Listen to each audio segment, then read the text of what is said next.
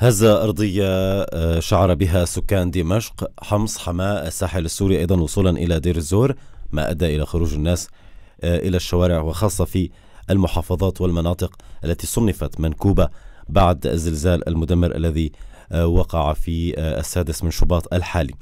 تواصلنا مع مراسلي شام إف إم أكد خروج الناس إلى الشوارع. أيضا آه، تواصلنا مع المركز الوطني لرصد الزلزالية. الدكتور رائد وتحدث عن أنه هذه الهزة هي ليست بدرجة 6.3 أو 4 كما تم التداول عن إدارة الكوارث التركية وفقا لمنصاتهم لكن في سوريا سجلت على أنها 6 آه، درجات. وأكد على أن هذه الهزات ستستمر وسنبقى نشعر بها لأنها تصنف على أنها هزات ارتدادية.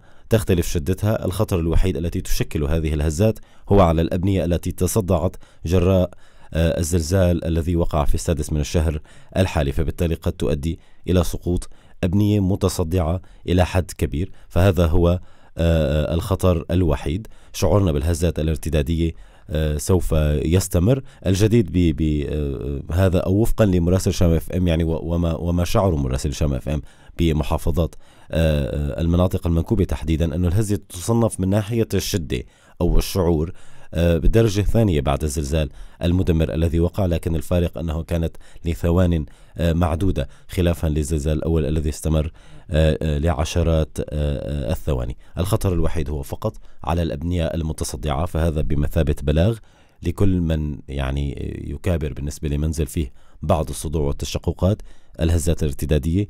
تنذر بأنه قد تكون شديدة إلى حد ما وتصل إلى ست درجات فهذا أمر بغاية الخطورة.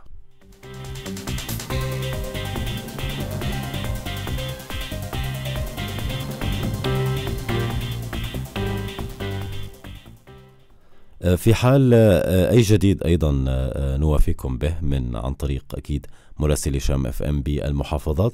ما يحدث الآن ووجود الناس في الشوارع وحالة الهلع هي ليست مرتبطة تماما بالهزة إنما مرتبطة ب يعني بما حدث بالسادس من الشهر الحالي. الهزة كانت كبيرة جدا أدت إلى مشاهد مؤلمة بالفعل فبالتالي حدوث هزة بهذه الشده القريبه إلى حد ما من شدة الزلزال آه، الذي آه، وقع في سادس من شباط هذا ينذر آه، بما هو مخيف. لكن وفقا للمركز الوطني هذا لا يدعو للهلع إلا بخصوص الأبنية المتصدعة.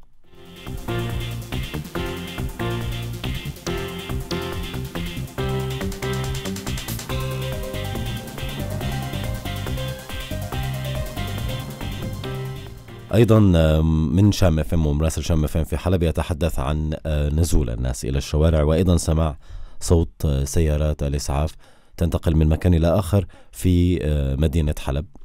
نسأل الله الأمان والسلامه للجميع وأن تكون مرقت هي الهزه على خير وسلامة.